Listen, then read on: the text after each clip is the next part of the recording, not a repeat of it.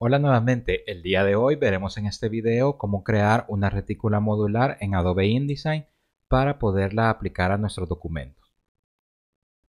Lo primero que debemos hacer es crear un nuevo archivo. Este archivo puede tener cualquier tamaño. Como referencia por la asignación que tenemos, seleccionaré el tamaño carta. También podemos utilizar cualquier tipo de unidades, sin embargo a mí me gusta trabajar con pulgadas pensando que este será un documento para impresión. Vamos a empezar con dos páginas y estas páginas deben de estar marcadas como páginas opuestas para que tengamos una encima de otro y aquí solo tenemos dos páginas.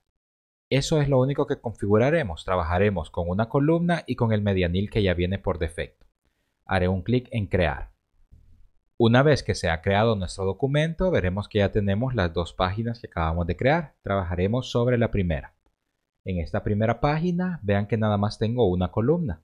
Así que lo primero que debo de hacer es definir la cantidad de columnas que voy a utilizar. Estaremos creando dos retículas. Una retícula de 3 por 4 módulos y otra retícula de 6 por 8.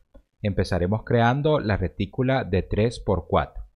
Lo primero que haré es ir al menú Maquetación y selecciono márgenes y columnas.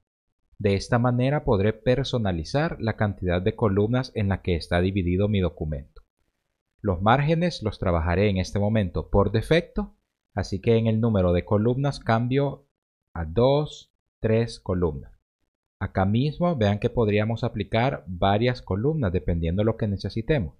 Sin embargo, estamos trabajando con una retícula modular de 3 por 4 módulos. Empezaremos con 3 columnas, manejaremos el medianil por defecto y hacemos un clic en OK. Ahora necesitamos colocar las filas para poder crear los módulos y de esta manera poder convertir esta retícula de columnas a una retícula modular. Nuevamente, para hacer esto nos vamos al menú Maquetación, nos vamos a crear guías y ahora tendremos una ventana en la cual nos pregunta el número de filas y número de columnas que queremos. Como esta es la opción de crear guías, también podríamos crear columnas.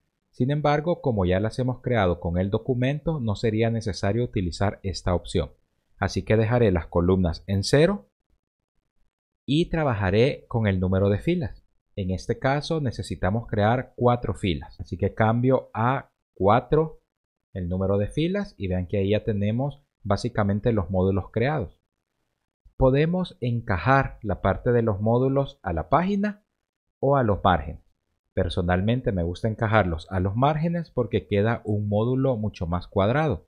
Si lo hacemos a la página, el módulo tendrá o tendría que ser cuadrado tomando en cuenta el margen y vean que podríamos tener módulos que parezcan mucho más horizontales. Nuevamente, esta es una preferencia a la hora de trabajar con la retícula modular, así que podrían encajar a cualquiera de estos. Yo lo dejaré en margen. Luego hago un clic en OK. Y aquí ya tenemos nuestra retícula modular. Esta retícula modular, recuerden, tiene tres módulos horizontales y tiene cuatro módulos verticales. De ahí el nombre de retícula modular 3x4. Ahora pasaré a la página número 2 y crearemos utilizando el mismo proceso una retícula de 6x8. Paso número 1 decíamos definir la cantidad de columnas, así que vamos al menú maquetación márgenes y columnas y seleccionamos en el número de columnas 6. De esta manera tendremos dividido todo nuestro formato en 6 columnas. Trabajaremos con el mismo margen y también con el medianil por defecto y hacemos un clic en OK. Y ahora puedo ir nuevamente al menú Maquetación. Selecciono Crear guías y en crear guías trabajaremos con 8 filas. Fila 1, 2, 3, 4 hasta llegar a la fila número 8. Vean que si trabajo con menor cantidad de filas, por ejemplo fila número 7, empieza a quedar un módulo mucho más rectangular. Nuevamente, si necesitamos o queremos tener una retícula que a nivel de módulos no sean totalmente cuadrados, podemos utilizar una menor cantidad de filas. Y si no, lo indicado es que siempre trabajemos con este estándar. Por ejemplo, la retícula modular de 3x4 y la retícula modular de 6x8. Vean que ahora ya tengo las 8 filas que voy a crear. Nuevamente me aseguraré que no estén encajados a la página porque si no se vuelven algunos mucho más rectangulares. Y si lo coloco en márgenes, ahí tenemos la proporción exacta. Ahora hago un clic en OK. De esta manera es como podemos ir creando nuestras retículas modulares. Ahora podríamos colocar el contenido que necesitemos. Sin embargo, cuando pasamos sobre cada una de estas páginas y pasamos sobre las filas, vean que se selecciona. Entonces podríamos accidentalmente mover esa guía que hemos creado. Acá la recomendación es que una vez que estén creadas, podamos hacer clic derecho fuera del documento, ir a cuadrículas y guías y seleccionar la opción que dice bloquear guías. También acá está el método abreviado utilizando al, command y punto y coma para poderlo aplicar. Una vez que seleccionamos bloquear guías, veremos que ya no las podremos arrastrar de una manera accidental. Si las queremos volver a mover, entonces deberemos nuevamente de hacer clic derecho, cuadrículas y guías y desactivar la opción de bloquear guías. Ahora que ya se encuentran bloqueadas, vean que puedo colocar el contenido que necesito y siempre aunque estén bloqueadas, el programa detecta que hay una línea guía cerca de donde estoy trazando y hace que se magnetice de manera fácil. Entonces el hecho de tener bloqueadas las líneas guías no quiere decir que vamos a perder la capacidad del programa para poder alinear y para poder magnetizar los contenidos a ese elemento.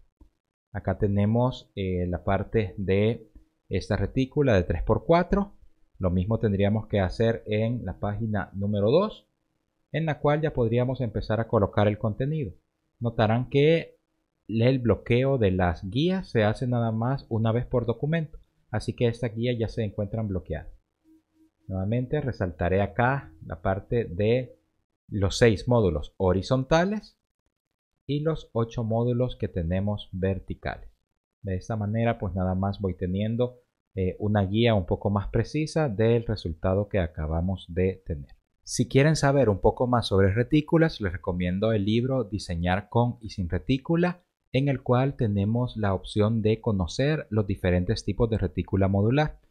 En esta ocasión hemos trabajado una retícula modular de 3x4 y también trabajamos una de 6x8. Sin embargo, hay estándares que podemos utilizar, como por ejemplo la retícula de 3x6, la retícula de 5x8, 5x12 o la retícula de 9x14. De esta manera es como podremos también ir teniendo conocimiento de las diferentes cantidades de módulos que podemos utilizar y asimismo tener mayores posibilidades y combinaciones a la hora de colocar nuestros elementos de diseño. Eso ha sido todo por este video, espero que les haya servido la información y cualquier duda o consulta recuerden que los leo en los comentarios. Saludos.